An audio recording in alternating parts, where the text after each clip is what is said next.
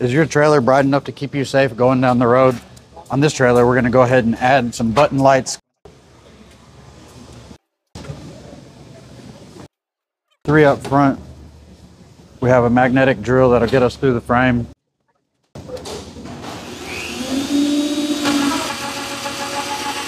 This particular trailer has dropouts, but if it doesn't, you can use a harness like this that'll get you into your main harness with a little one foot extension, and then it'll have dropouts on either side.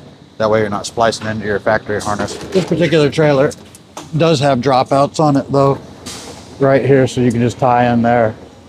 So now all these will be marker lights. We've also added an Air-Weigh scale to this unit.